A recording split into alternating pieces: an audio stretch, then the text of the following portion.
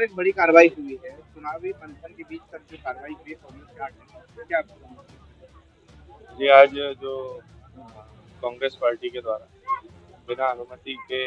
Road show type से जो वाहन रैली निकाली गई, जो स्पष्ट आचार संहिता का उल्लंघन एसएसटी की टीम ने जो जाँच की थी, उसमें पाया है, जिस पर हमने छः सात नामजद व अन्य ढाई सौ लोगों पर एक सौ अट्ठासी के तहत कार्रवाई की। जी जो नवीन प्रावधान है अरनेश कुमार जी का जो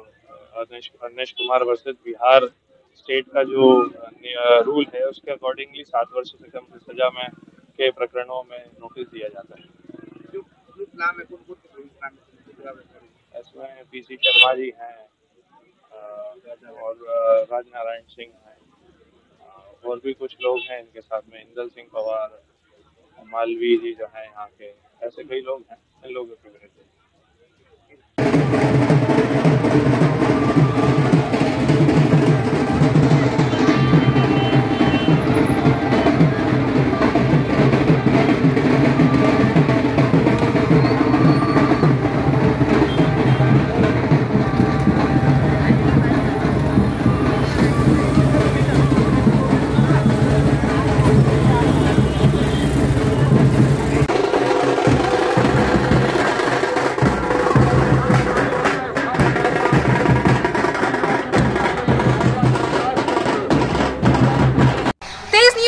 तेज खबरें सबसे पहले पाने के लिए हमारा चैनल सब्सक्राइब कीजिए और हाँ बेल आइकन दबाना ना भूलें।